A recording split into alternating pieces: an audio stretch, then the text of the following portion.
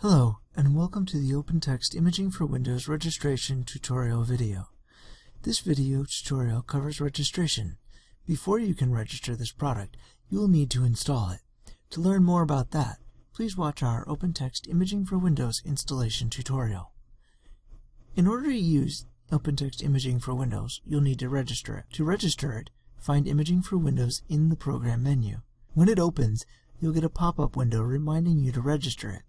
If you choose No, you can continue to use the program through the trial period. If you choose Yes, it will allow you to begin the registration process. When you click Yes, it will pop open the registration window. Fill in your name, company name if you have one, your email address, and the serial number that is found on the back of your software case, or in the email from our fulfillment team if you chose the download option.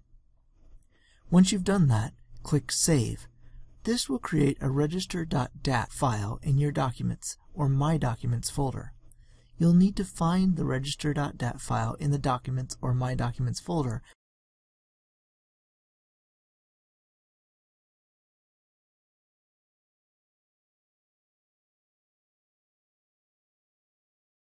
and send an email to i4wregister at opentext.com.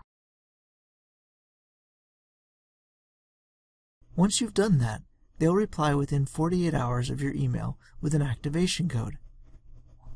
In the meantime, you can continue to use imaging for Windows in the trial mode. Once you have the email with the activation code, open Imaging for Windows and under the Help menu, choose Register. Enter the activation code in the new field and click Register. The program is now registered and ready for you to use.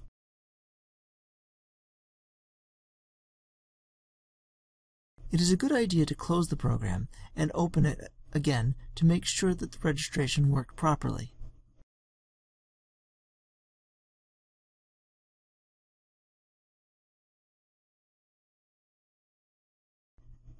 You have now completed the registration process and this tutorial video. If you have any problems with this registration or questions about this process, please send an email to i4wquestions at opentext.com. Thank you.